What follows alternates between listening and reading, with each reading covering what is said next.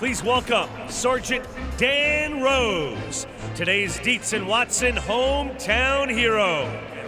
Today, with the help of an exosuit donated by the Soldier Strong Foundation, Sergeant Rose is able to rise to his feet and walk again.